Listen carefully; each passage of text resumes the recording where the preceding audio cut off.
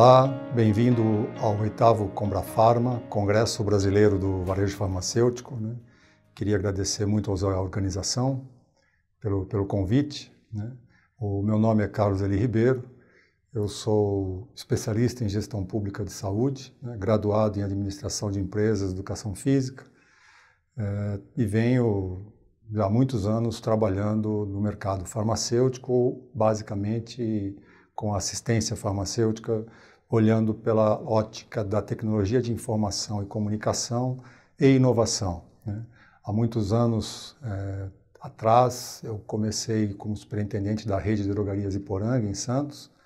Depois a gente migrou para um trabalho de gestão de convênios, o famoso Pharmacred, e aí evoluímos para o trabalho de PBM, do Pharmacy Benefit Management, né, que gerou é, uma possibilidade das farmácias é, saírem do convênio, do modelo de convênio, né, que era como fazer o reembolso para as empresas, etc., e entrou então para um trabalho mais sofisticado que permitia que a assistência farmacêutica começasse a olhar né, para o paciente, para o controle de qualidade, para o controle da segurança, para a padronização de tratamentos, né, de uma forma mais focada, assim, na saúde. Né. E isso fez com que a gente pudesse, talvez tenha sido o primeiro grande passo, né, os convênios, é, olhando pela ótica do varejo farmacêutico, né, é, que pudesse dar os primeiros passos para a questão da prescrição eletrônica. Né? Como é que a gente ia adequar a evolução da, da, da informática, da tecnologia de informação, né? E para chegar na, na, na, saúde digital, né? como esses passos seriam dados. Hoje a gente chama de saúde 4.0.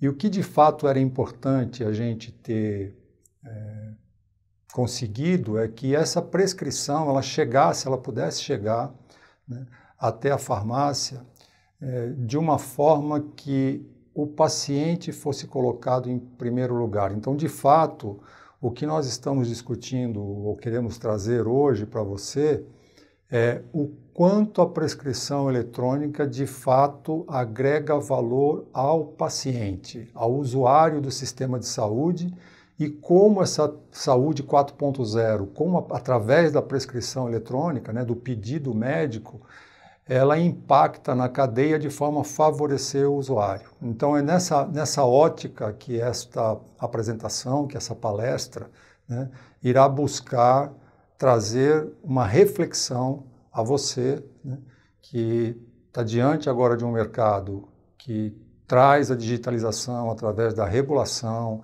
através da vigilância sanitária, através das operadoras de saúde, através dos médicos, através da Associação Médica Brasileira, ou seja, de todos aqueles que participam da indústria, né, que participam desse mercado. Tá? E quais são os pilares para uma saúde integrada, sustentável com geração de valor ao paciente? Então é muito importante porque a gente vai focar né, no paciente, observando todos os stakeholders, como eles estão é, se organizando para isso. Então, na nossa agenda de hoje, a gente vai ter a saúde 4.0, que é a prescrição eletrônica, qual é o grau de maturidade dos stakeholders né? e que contexto e desafios do sistema de saúde tem, como a gente analisa os pilares para um, um sistema integrado, né? qual é o grau de maturidade, então, para a gente estar tá falando de integração, tem sempre o outro lado, né? não basta que nós estejamos preparados, o outro lado também precisa estar. E qual é o ambiente de governança para que isso aconteça, ou seja, qual é a pluralidade né, desse grupo de entidades, de stakeholders, de participantes da cadeia, como eles estão conversando para entender essa nova modelagem, de forma a efetivamente fazer do paciente, né, empoderar o paciente para que ele entenda que esse é o grande benefício da digitalização da saúde. Né? Então, a gente tem um grande desafio é, para a saúde num modelo sustentável, dentro de um contexto do envelhecimento populacional, do aumento dos custos, tanto público quanto privado, né? da, da, questão, uma questão importante, que aí eu vejo uh, a possibilidade do farmacêutico, eu brinco muito em dizer que sair de trás do balcão e ir para frente da, da loja, né? sair do fundo da loja e ir para frente da loja, ou seja, ele ser colocado diante do paciente e com isso a gente trazer a questão da responsabilidade técnica, da atenção farmacêutica, né, da visão clínica desse processo tão importante, né, que é essa agenda né, medicamentosa do, do, paciente, do usuário. E aí nós temos um déficit de material humano da ordem de 12,9 milhões né, do capital humano. Então a gente vai precisar formar esse farmacêutico, a gente vai precisar formar toda essa equipe né, de pessoas que vão lidar a partir de agora com o paciente a partir de uma nova ótica, né? não só da dispensação, mas de uma dispensação qualificada de produtos e serviços, né? que os serviços virão acompanhados desse processo. Então, com isso, nós temos o avanço da, da, da, medicina e da tecnologia, então muito se fala de telemedicina, de teleassistência, né? e o que, que será isso na prática? Os wearables, né? As, as, os equipamentos, os produtos que irão poder agilizar medidas, né? medidas de glicemia, medidas de DPOC, medidas é, de pressão arterial, medidas de, de, de, de, frequência. Então, a gente tem aqui um, um, uma, uma, um conjunto de serviços que hoje estão dispersos, né? estão espalhados pela, pela rede da atenção primária, vamos assim dizer, e que poderão ser absorvidos pelas redes de farmácia, mas que as quais precisariam estar integradas com outros sistemas, né, com outras redes de prestadores, de forma a levar uma informação curada, qualificada e segura né, é, para quem for tomar a decisão é, e tem a responsabilidade técnica sobre isso. Né. É nesse sentido, depois que a gente pode falar de LGPD, o que será discutido LGPD, sobre essa ótica numa política de governança desses dados do compartilhamento em prol da segurança do paciente. Então, isso vai fortalecer muito a atenção primária, também chamada de atenção básica, né? É, porque 90% das mortes prematuras estão relacionadas a essas doenças cardiovasculares, né, e, e DPOC, e metabólicas, que poderiam ser resolvidas, o próprio câncer, né, que poderia estar sendo resolvido é, pela mudança de comportamento, pela orientação, pela intervenção é, de um farmacêutico, né, que é o mais próximo, é o, é o, é o profissional de saúde mais próximo hoje, ficou comprovado né, em todas essas ações que a gente tem nessa fase de, de epidemias, pandemias, né, ou de vacinação, é o, é o profissional de saúde mais próximo do, do, do, do paciente, do usuário, do sistema de saúde, né, e que pode estar levando uma informação mais qualificada. Então, esse fortalecimento da atenção primária é muito importante. Né. E o crescimento das comorbidades, né? Então, os tratamentos crônicos, paciente diabético hipertenso ou com DPOC, então é, essa cronificação das doenças, as doenças crônicas não transmissíveis, né? Elas em, também no, nos seus tratamentos provocam interações, essas interações medicamentosas, esses, essa agenda da, da medicação, né? o correto uso da medicação, para que a gente tenha então um engajamento do paciente, uma resposta terapêutica, um desfecho clínico desejável. Né? Então, a importância da digitalização da saúde, a importância do compartilhamento de informação, a importância da governança em todos os players envolvidos em prol do paciente. Então, o foco nosso, quando a gente fala de saúde 4.0, a grande diferença é o paciente sendo o, o foco da atenção e o foco de todo o nosso trabalho, levando a ele mais segurança, conforto e engajamento. Né? A gente pode fazer isso e aí o desfecho clínico pelo medicamento ele pode se tornar mais efetivo né? e com isso promover ganho de qualidade de vida e promover o varejo farmacêutico como uma condição de um player da saúde fundamental. Quais são os pilares né, para essa, essa saúde integrada e sustentável? Então a gente falaria que o sistema tem que ser centrado no paciente, ele tem que estar engajado, nós temos que ter a gestão de mudanças e liderança, então como é que a gente faz a mudança desse atendimento, né? a gente vai discutir isso individualmente, o cuidado na medida certa, parceiros e terceiros, a cadeia tem que estar envolvida, incentivos alinhados ao desfecho, então qual é o modelo para isso, né? que modelo de, de sustentabilidade, que modelo de remuneração, como é que isso vai se dar, a tecnologia como um meio para assistência e não um fim, ela não pode se tornar um peso para para esse processo como um todo, ela tem que ser um facilitador, né? ela não pode ser um custo adicional, ela é um facilitador que permite que serviços sejam prestados. Então tem um grande diferencial, né, quando a tecnologia ela fica gerando aquele monte de backlogs, né, de, e que tem que mexer no sistema, tem que mexer no sistema, e vão pensar de uma forma digital, né? Que dados precisamos trocar, que dados são relevantes, quem tem a responsabilidade pelo quê, quem é o ente neutro que permite que isso aconteça em prol do paciente, para que os players dessa cadeia, para que aqueles que têm responsabilidade técnica efetivamente possam prestar serviços de qualidade. Né? E a governança né, em toda essa rede integrada. Isso é fundamental, né? Esses modelos integrados que, que a tecnologia, que o avanço tecnológico trouxe, é que a gente não fala mais de quem é o quê, né? Mas a gente diz o que se precisa para se beneficiar quem, né? Que dados eu preciso, nesse caso a gente está trazendo o paciente, o foco centrado no sistema, é que dados eu preciso ter para beneficiar o meu paciente e em qual momento no momento que ele está diante do farmacêutico, no momento que ele está diante do médico, no, no, momento que ele está diante de um técnico, né, no momento que ele está diante de um, de, um labor, de, um, de um técnico laboratorial para imagem ou para ou é, exames é, patológicos, né? Então, em que momento essa informação ela é importante? No momento em que eu tenho que ajudar o meu paciente a ter acesso né? O gestor de saúde precisa desse, dessa informação para ajudar o paciente. Né?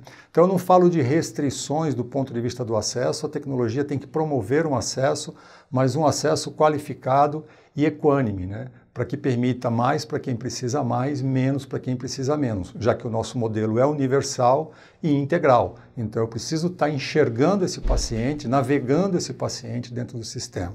Para toda pergunta, imagine o conhecimento. Para toda busca, imagine uma inovação. Para todo mal, imagine a cura. Para você imaginar, a EMS realiza pesquisas inovadoras, investe em tecnologia e desenvolve novos medicamentos que cuidam da sua saúde. Porque quando o mundo está paralisado pelas dúvidas, alguém precisa imaginar as respostas. Medicamentos EMS. Sua saúde merece. Visto isso, a gente vai falar então desse modelo que é centrado no paciente. Né? O que, que ele é? Ele prover seus serviços pensando na experiência do paciente. Colocar o paciente, o cidadão, no centro do cuidado né? e entender como ele navega nas três linhas de cuidado: na atenção primária, na atenção especializada e na alta complexidade. Então, desde quando ele vai internar no hospital até o momento que ele tem alta. Então, como é que isso se dá? Como é que é esse apoio à decisão? Como é que a farmácia que está ali na ponta, trabalhando na atenção primária, ela interage com todos esses players. Né? Então, a importância de um sistema orientado ao paciente, quer dizer, são fatores a serem discutidos. Ele está orientado realmente ao paciente? Eu estou orientando ele só à venda, só à dispensação, mas eu não estou olhando esse paciente no todo. Né?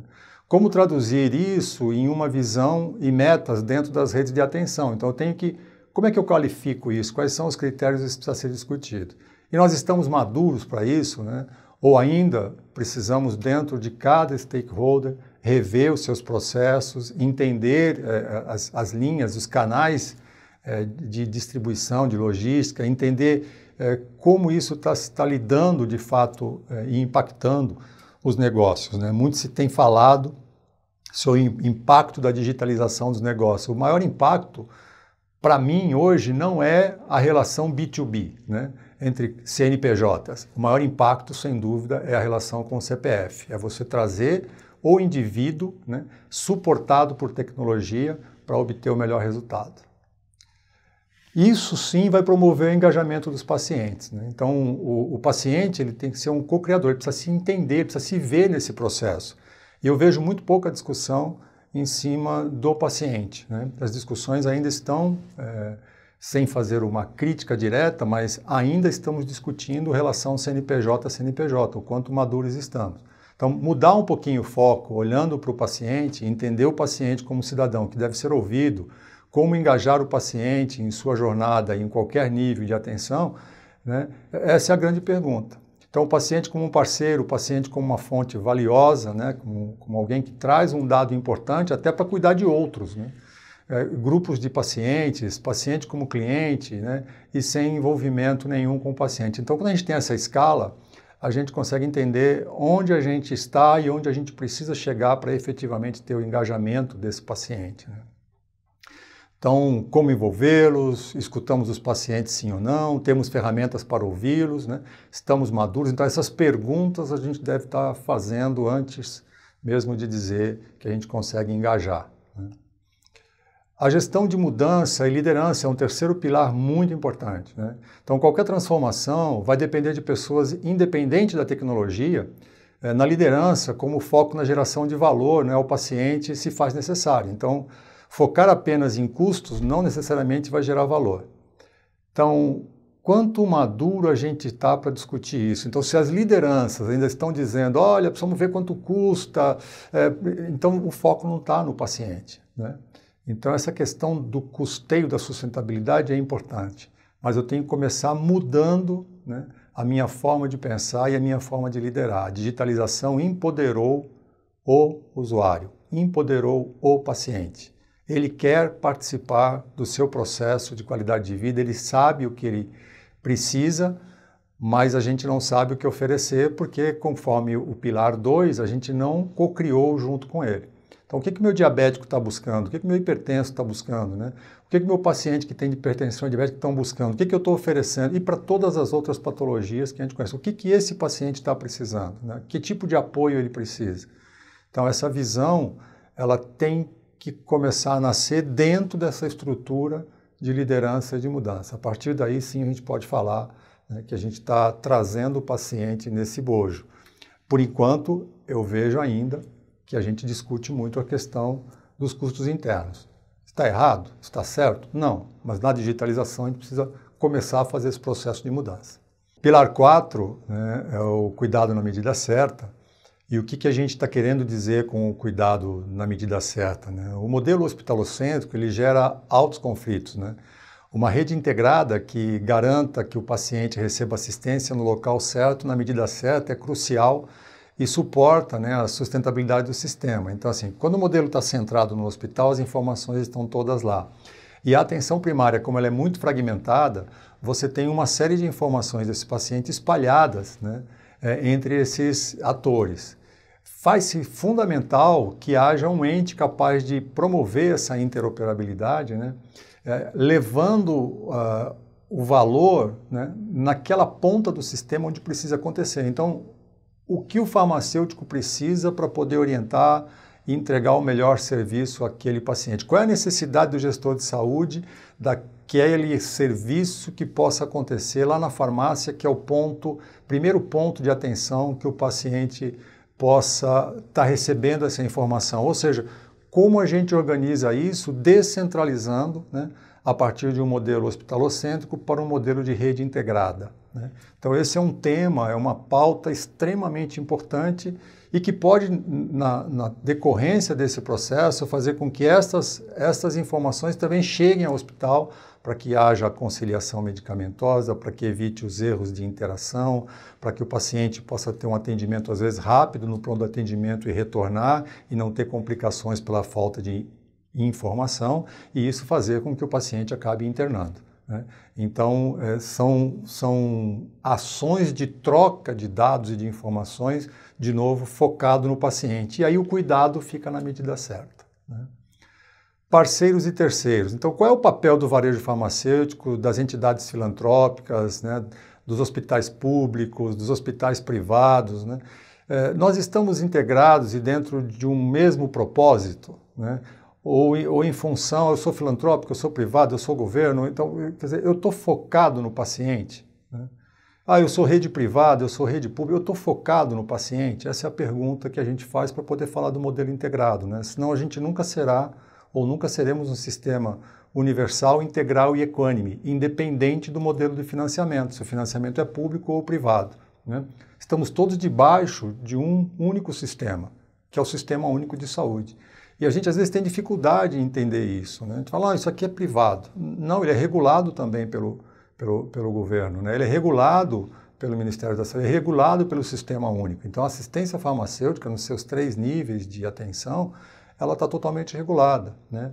Um paciente transplantado, um paciente que volta para a atenção primária na sua cidade, uma farmácia que está próximo para dispensar um medicamento que às vezes vai ter interação com o medicamento que foi usado né, em imunoterapia ou para suportar um transplante. Então, assim, isso precisa ter uma visão um pouco mais abrangente, precisa ter uma visão um pouco maior, né? É, dos players. E a digitalização permite isso. Como estaremos trabalhando com isso? Né? Desde 2009 eu, eu venho trabalhando com isso, primeiro na gestão pública, depois com a questão da prescrição eletrônica no CIETEC da USP, onde a gente começou a discutir padronização de banco de dados, outra questão fundamental. Quer dizer, como é que os parceiros que alimentam esses bancos de dados, como é que toda essa estrutura de curadoria de dados está organizada? Né? É, os produtos estão identificados da mesma forma, tem padrão, a gente discute a Anvisa, né, com a unidade de medicamentos, o EAN, como é que isso está é, cadastrado e codificado na, na, minha rede, ou num hospital, ou num prontuário eletrônico. Nós temos a mesma identificação, as informações levam ao mesmo processo, então temos muito ainda a caminhar nessa direção. Né? Então, todos os parceiros e terceiros precisam estar dentro da discussão. Como acompanhar a jornada do paciente estendida a terceiros? Né? Qual é o papel do varejo? Como integrar as, as, os hospitais filantrópicos, públicos, privados? É, estamos maduros para isso? Essa discussão está na mesa? Né? Se essa discussão não está na mesa, teremos um problema para discutir e teremos então que trazer essa pauta né, para entender qual é o nível de informatização, que softwares que nós temos lá dentro, como são administradas as bases de dados. Então aí voltamos para a TI e em tese às vezes o problema parece ser de TI, quando na realidade é a questão da governança e da pauta. Né? Bom, e aí vamos falar de sustentabilidade, quer dizer, incentivos alinhados ao desfecho. Então, como garantir que todo o sistema esteja orientado a desfecho clínico e não a volume? Né? É, remuneração deve ser por valor gerado. Né? Então, a gente tem vários modelos, né? Fee for Service, pacotes, bloco, capitation, tem vários modelos de, de incentivos. Né? Como que a gente quer trabalhar?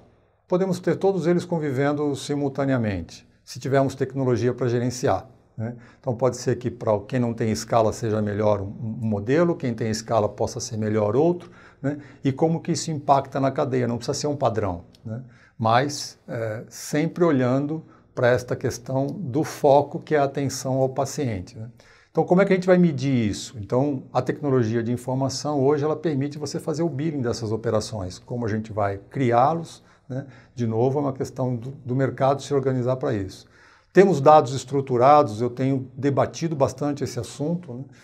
e muitos dos dados não estão estruturados, então ainda não se tem é, padronizada a identificação dos usuários dentro de diversos players. Né? Cada um adota um critério, é o número do prontuário eletrônico, ou é o número é, do cartão, ou é o número. Então, assim, nós precisamos definir e ver como todas essas estruturas têm. Já existe a ordenação, né? que é pelo CPF mas não existe isso ainda dentro das estruturas que vêm de modelos ainda antigos, né, onde vem se mantendo uma estrutura de numeração por prontuário. Então, a discussão precisa subir. Né? Quer dizer, como é que a gente vai trazer essa identidade única? Né? Uh, e isso serve também, como eu já falei, para medicamento, isso serve, apesar de termos vários dados, já TIS, TUS, de termos vários dados estruturados, mas na prática, quando a gente vai para dentro das organizações, isto ainda não é visto dessa forma e não é praticado assim. Eu tenho participado de, de muitos trabalhos de integração e, na prática, isso ainda não é assim. Então, temos que ter essa ampla discussão e elevar esse nível focado no paciente. Então, a pergunta sempre é: estamos maduros? Às vezes, uma ponta está, a outra ponta ainda não. Então, o ecossistema como um todo que favorece, deveria favorecer o usuário, ainda não é percebido por ele justamente porque ainda estamos discutindo né, a nossa maturidade para entrar nesse novo mundo digital. Tecnologia. Bom, tecnologia é o meio, não o fim. Né? Então, ela deve fazer parte de uma estratégia e não ser usada apenas como ferramenta. Né? Então, ela vai permitir, ela permite, com o avanço da tecnologia, novos modelos, novas linguagens que permitam que a gente modele esse sistema, de formas mais é, friendly, de forma mais amigável, fácil né, de entender, é, vai colocar por terra toda uma visão analógica desse processo para uma visão digital. E aí nós precisamos entender os processos, por isso que é super importante a questão da governança, né, para que a gente entenda esses processos que vão atender o usuário final e não apenas atendam né, as questões de back-office, etc. Então, por exemplo, quando a gente fala de prescrição eletrônica, como é que eu integro né, com, com as informações que eu tenho que enviar para a vigilância sanitária. Se ela é eletrônica, como é que a vigilância vai é, controlar ou fiscalizar essas informações antes, quer dizer, ela pode autorizar antes, ela pode não autorizar, ela pode. Então, como é que nós vamos discutir isso? Em que momento essa discussão vai vir? Porque eu preciso tirar o farmacêutico de trás do balcão, a expressão que eu uso, né, lá do back-office, para ele ser o prestador de serviço de saúde. Eu preciso colocar esse profissional que é tão importante à frente da loja, né, para que a gente pense logística a partir do usuário. Isso estamos falando da assistência farmacêutica, a gente não está falando de outros produtos, né, dos correlatos, etc., que também fazem parte desse processo, como um todo, na parte de higiene pessoal, etc. Mas aí entra beleza, etc., etc., que a gente não está nesse foco da discussão, mas que poderá entrar num determinado momento. Né? Quando a gente vai para a pele, né? então há uma série de, o envelhecimento da população, uma série de produtos virão junto com, com, essa, com essa visão. E a tecnologia para suportar isso, para criar padrão, né, para integrar informação, para permitir transação, isso precisa ser pensado né, e já discutido nesse novo modelo né, de, de, de, visão de, de, uma assistência digital, né, de uma saúde digital. Então, o quanto a nossa rede está informatizada ou quanto eu vou ter esses serviços em nuvem, eu vou ter esses serviços prestados por terceiro. De qualquer forma, tem que terá que haver um padrão, essa, essa interoperabilidade terá que acontecer, com todas as seguranças que a tecnologia já diz, que a legislação já exige, LGPD, né, HL7, RIPA, tudo isso que a gente fala de segurança de informação. Quanto mais ela estiver distribuída, mais segura ela está. Quanto melhor ela for compartilhada, mais segura ela está. Então, quando a gente fala de propriedade de um dado, o mais importante a gente saber é que o pedido médico, a prescrição eletrônica, é do paciente. Uma vez que ela é uma conduta que ele deve ter, é, essa prescrição é dele. Então, ele tem o direito né, de fazer com ela aquilo que ele quiser, dentro do sistema de saúde regulado. Ou seja, não é o que ele quer na hora que ele quer, é como essa informação está integrada e ele precisa entender isso né, que essa digitalização vem favorecer. Ele não precisa mais estar perguntando o que está escrito, onde eu compro isso, onde eu compro. Toda essa visão pode ser modificada numa resposta muito mais segura, muito mais concisa, sem um direcionamento, mas com uma orientação e com um serviço com valor agregado. Né? Então, essa, essa ferramenta deve ser vista desse jeito. Então, se a gente tem dado estruturado né, e se estamos maduros para isso. A tecnologia avançou muito. Né? Creio que a gente precisa. Esse é um pilar que avançou demais. Então, a gente precisa olhar os outros pilares como eles estão, para que a gente tenha uma simetria, né? tenha melhor simetria de informação e não uma assimetria ainda maior, né? separando tecnologia de, da governança, ou separando tecnologia do atendimento, do conhecimento farmacêutico. Então, mesmo que se fale em inteligência artificial, tudo isso tem uma limitação né? que tem que trazer junto né? Os recursos humanos que irão trabalhar com, essa, com essas. Eh, com essas informações e com esse serviço.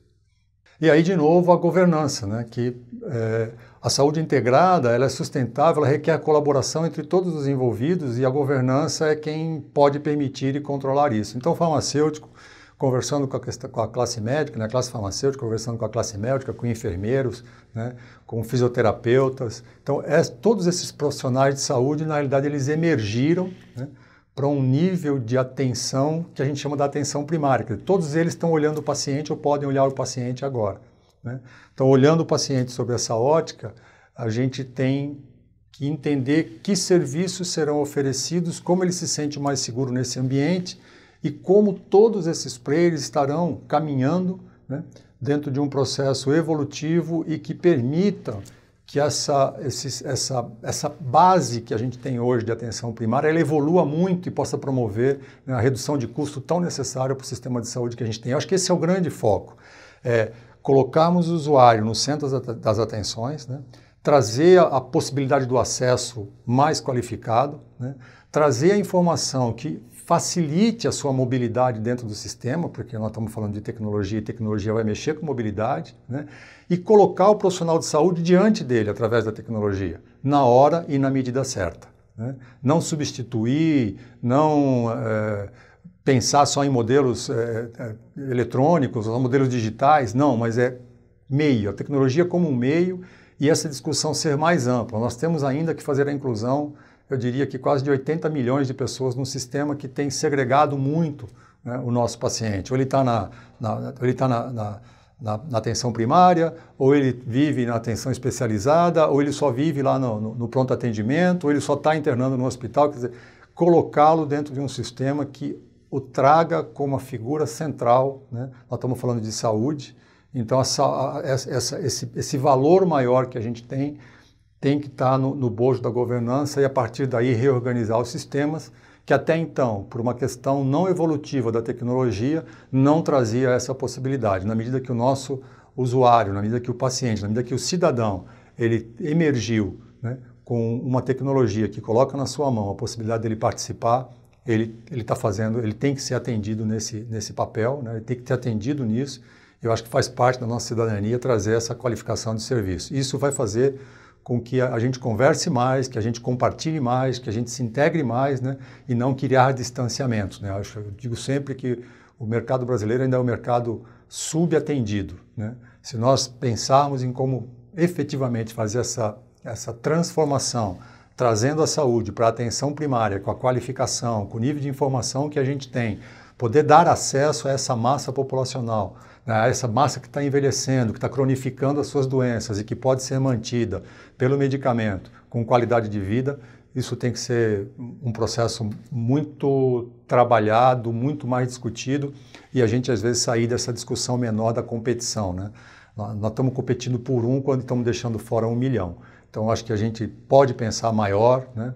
deve pensar maior, eu acho que o varejo farmacêutico é a grande porta de entrada né?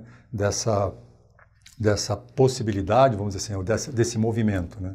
E eu acho que faz parte da nossa cidadania exercer esse, esse papel. Né? E aí vem a grande pergunta, né? Enquanto a gente está maduro, né? para discutir isso. Né? Então, quanto maduro estamos para honrar a entrega de valor ao paciente sobre a ótica de cada pilar? Eu acho que aí a, a, o que a gente procura trazer nessa palestra é essa reflexão. A gente voltar para os quadradinhos lá e falar, poxa, eu estou fazendo isso, não estou. Né? Como é que a gente está aqui é, tratando esse tema? isso foi discutido, não foi, o que, que eu estou perdendo de oportunidade, como eu tenho que pensar isso, isso é diferencial de competitividade, não é, isso será para todos e a gente tem que agregar valor em outro ponto, quanto rápido isso vai mudar, então talvez a gente esteja discutindo algo que não seja tão importante. Né? Então, trazer o paciente para essa frente de discussão, para esse foco, possa talvez reorganizar e ajudar a gente nos demais pilares. Se fala muito em navegação do paciente, mas se a gente não se integra, eu só sei que ele está comigo quando eu já sabia que ele estava. Então eu só estou melhorando a tecnologia, mas eu não estou de fato entendendo o que acontece com ele onde eu não estou e poderia ajudá-lo. Essa é uma visão importante. E ainda mais perguntas que quais próximos passos para avançarmos na maturidade de cada pilar. Eu acho que a partir do momento que cada um fizer essa lição de casa né, e, e entender onde está é, mais frágil nessa discussão, onde isso ainda não não está na pauta, não está na mesa, acho que tem que ser assinalado aquilo como um ponto a ser discutido e colocar essas informações depois na mesa e a gente entender se a gente está olhando para canais de distribuição, se eu estou melhorando ainda a minha base de, de medicamentos, meu mix de produtos, quer dizer, ter essas discussões todas, mas em algum lugar tem que ter a cadeira do, do de quem está pensando na segurança do paciente, de quem está pensando nessa visão mais integrada e compartilhada. Né? Então, a prescrição eletrônica ela não é o fim, ela só foi o meio. Né? Ainda temos um caminho muito longo para perseguir, né? é, no sentido de trazer os players para essa, essa visão. Né? Então, é, e mesmo quando se fala de prescrição eletrônica, estamos falando de centenas né, de, de, prontuários que emitem prescrição, de centenas de médicos que têm um aplicativo ou outro. Né? ainda não estamos falando de fato de um modelo integrado que possa trazer essa segurança tanto para o paciente quanto para o prestador de serviço. Então, ainda estamos no, no, meio dessa discussão, discutindo regulações, discutindo sistemas. Então, é um momento que eu vejo muito oportuno nessa, nesse oitavo congresso da, da Combra Pharma para trazermos esse tema. Então, nesse sentido, é, a palestra do, do presidente Marcos, né, é, quando fala da, de toda a assistência farmacêutica, desse mercado farmacêutico, é muito importante porque ele traz essa visão da, da necessidade, mais do que importância, já é necessidade é, do, do, farmacêutico, do varejo farmacêutico ser encarado né, definitivamente como parte integrante do sistema de saúde, né? e não apartado, unido por um pedaço de papel, uma prescrição, que faz com que o paciente adquira seus medicamentos e volte para casa. Né? E, e, a gente não tem mais controle nenhum sobre essa adesão ou não ao tratamento, a agenda correta do uso.